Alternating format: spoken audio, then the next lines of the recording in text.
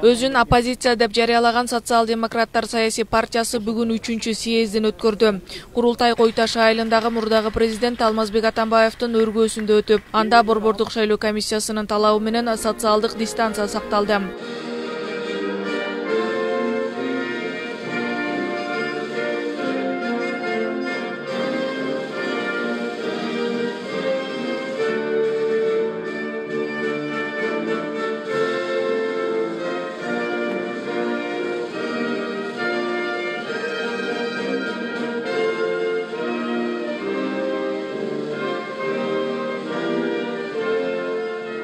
пандемияга байланыштуу курултайга элүү делегат чакырылып анын отуз төртү келген.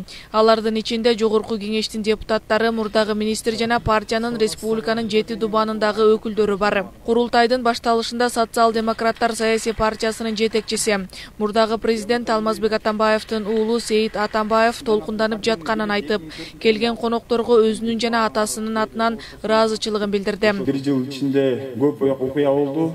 Көп кишилер тең биякта отурган тең мындай жөн тынч отурган жок көп силерден биз силердин жардамыңарды алдык андан кийин ошого мен силерге ыраазымын андан кийин кичине таазимдеп атам да силерге чоң өзүнүн саламын айтты. Силерге чоң рахмат.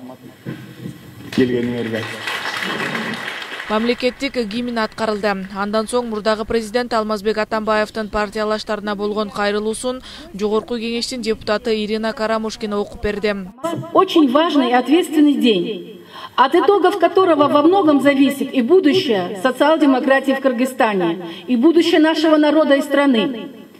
Под, флаг, под флагом партии социал-демократов идут на выборы истинные партийцы моей родной СДПК, Власти рейдерским путем отобрали лейбл, реквизиты и офис партии. Но зато наши ряды очистились от предателей, карьеристов, продажных душ и прилипал. Закаленные и проверенные бойцы СДПК вместе с молодыми энергичными новыми лидерами составят крепчайший сплав опыта и молодости, мудрости и дерзости, знания и энергии.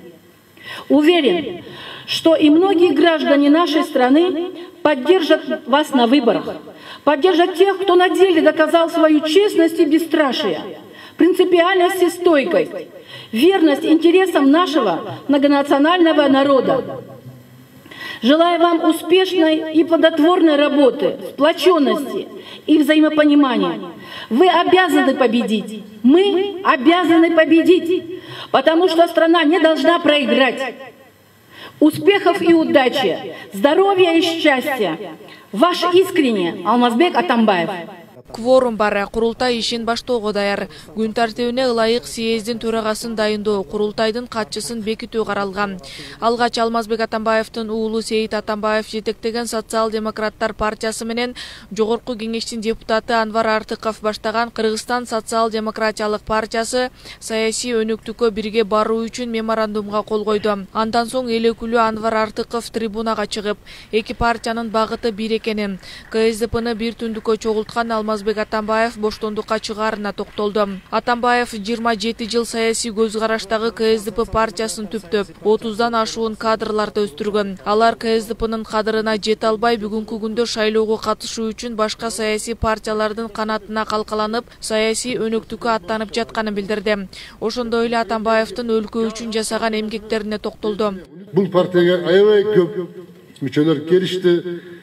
Карьеристтер келди аларды бүгүн көрүп турасыңар отузга жакын стбкдан шайланган депутаттар бүгүн башка партиянын эшигин калкалап ошолордун тизмесине кирип депутат болобуз деп жүрөт демек булар мандат үчүн келишкен идея үчүн эмес биздин чоң катаачыбыз ошондо болуп атат биз партия боло турган болсок социал демократ идеясыны алдыга жылдырыш үчүн бизге идейный бийликте болобузбу апайсызда болобузбу бир ойдо жүргөн бир нукта кеткен адамдар керек болуп атат ошондой эле алдыдагы татаал шайлоодо акчанын атаандаштыгы күч алаарын белгиледи. Күн тартибине ылайык саясий өнөктүккө атсалышып жаткан социал демократтар саясий партиясынын программасында бир катар маселелер каралган. Анда саясий партия оппозиция экени. Мамлекетте парламенттик башкаруу деген менен президенттик парламенттик бийлик өкүм сүргөндүктөн. Президенттин ыйгарым укуктарын карап импичментке чейин камтылган. Программанын экинчи бөлүгү парламенттик системаны өлкөдө турукташтырып парламентаризмди чыңалтууга багытталган бүгүнкү күндө биздин юристтер эксперттер закон о деген жазып чыгышты уже даяр. Закон о то есть көптөгөн э, мамлекеттик чиновниктер эски мындай мындайча айтканда азыр азыр мындай эл дагы айтып көп айтып калды чимкирик деп. Туурабы буну эң биринчи экс президент алмаз шишенч айтты эле. Ошол элге абдан сиңип калды. Значит бул деген чын эле ошондой учур келди. Ошон үчүн мындай э, кандай түрдө кандай түрдө муну мыйзамдуу чет өлкөлөрдөй мисалы западный европада дагы бар ошондой э, мисалдар. Ошондой биз э, мыйзамдарды жазып чыктык. Бийликке айбат көрсөтө алабыз деген оппозициялык маанай менен шайлоого аттанып жаткан социал демократтар саясий партиясынын элүү пайызы жалаң демилгелүү жаштардан турат. Алардын бири элимар касымалиев. Ал тажрыйбалуу жаштар биригип мекен үчүн бир жакадан баш бир жеңден кол чыгарып элдин бийлигин көздөө максатында шайлоого аттанып жатканын билдирди. Биз мурункудай болуп партияга акча алуулар же болбосо ушундай башка деңгээлдеги адамдар кирүүсүнө бут тосуу тоскоолдуктарды көрсөттүк биз жаңылануунун жаңы багыттын жаңы жолдун мазмунун талдап өзүбүздүн башыбыздан бул нерсенин баардыгын өткөрүп жаңы багыт менен барууну туура көрдүк. Ал эми партиянын айрым мүчөлөрү социал демократтар саясий партиясы түзүлгөнүнө аз убакыт болгонуна карабай экинчи жолу шайлоого катышып жатканын белгилешет. Буга чейин эки миң жыйырманчы жылдын жаз айына белгиленген жергиликтүү кеңештерди шайлоо өнөктүгүнө катышып бирок пандемияга байланыштуу шайлоо өтпөй калганын эске салышат. Жергиликтүү кеңешке социал демократтар деп чыккан. Балыкчы шаарындагы шаардык кеңешке анан оору болуп орбой калбадыбы пандемияга коронавируска байланыштуу жергиликтүү кеңеш болбой калды э, кыскасы биз э, социал демократтар бул жаңы башка партиялар биринчи жолу жогорку кеңешке катышып атышы мүмкүн. А биздин социал демократтар партиясы кышында эле эки миң жыйырманчы жылы жергиликтүү кеңешке шайлоого аттанган. Номер жети деген анда э, атайын жанагы чычуу кулак деп коет го ошондой жеребьевка менен алып катышканда. Бул биринчи жолку шайлоосу эмес социал демократтар ошентип күн тартибине ылайык курултайдагы экинчи маселе каралып социал демократтар саясий партиясынын жогорку кеңешке көрсөткөн талапкерлердин тизмесин окууга жетти. Аны сейит атамбаев окуп. Добуш берүү жашыруун өттү.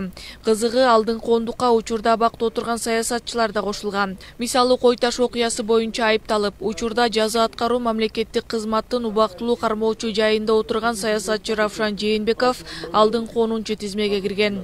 Атамбаев сейитбек председатель партии социал демократы э, карамушкина ирина юрьевна депутат жккр э, артыков анвар депутат жогорку кеңеш кыргызской республики жунушалиев рустам орозова карамат касымбеков нурбек жээнбеков жусупжан султанбеков темирлан жолдошева назгүл жээнбеков равшан айжан мырсан э, султан кылычбек. Эске салсак жогорку кеңештин депутаттарын шайлоо төртүнчү октябрга белгиленген. Мыйзам боюнча партиялар жыйырманчы августка чейин кечиктирбей жыйын өткөрүп талапкерлердин тизмесин жарыялоого тийиш. жыйырма төртүнчү август кечке чейин талапкерлердин тизмесине байланыштуу тийиштүү документтер борбордук шайлоо комиссиясына тапшырылып төртүнчү сентябрга чейин тактоо иштери аякташы керек. Акылай маратова бакытжан асанбеков некст тв күндүн темасы үчүн